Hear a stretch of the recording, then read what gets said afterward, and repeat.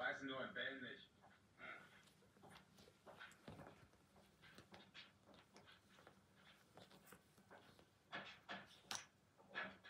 Mrs. Dennison? Was will denn die Polizei von mir? Wollen Sie meine Lizenz überprüfen? Äh, Nein, nein, wir wollten Ihnen nur ein paar Fragen stellen. Es geht um Ihren Mann. Wieso? Mein Mann ist seit sieben Jahren tot. Das wissen wir, Ma'am. Wir interessieren uns dafür, wie er ums Leben gekommen ist. Lesen Sie den Bericht des Gerichtsmediziners. Er ist von einem Wagen überfahren worden. Wenn Sie mich jetzt entschuldigen wollen, ich habe einen Hund, der dringend eine Spritze braucht. Können wir Ihnen nicht helfen? Ja, wir sind halb ausgebildete Sanitäter.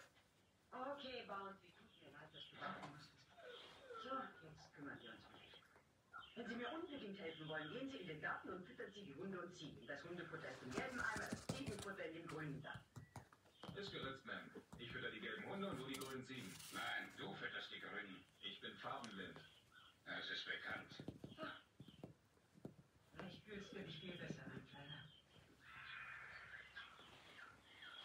Das sind alles Verwahrungstiere, die auf der Straße ausgesetzt wurden. Ich habe die Erfahrung gemacht, wer Tiere nicht liebt, der ist zu allem fähig.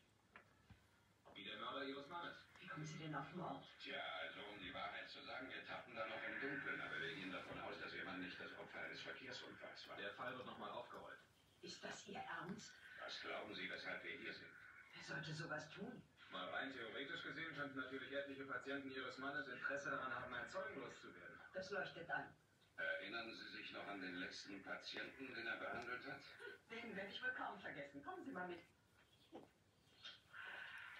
Er hat so gut bezahlt, dass wir eine ausgedehnte Reise nach Europa machen konnten. London, Paris, Madrid. Waren Sie einen Monat weg? Ja, Und als Sie nach Miami zurückgekommen sind, ist der Unfall passiert. genau. Zwei Tage später.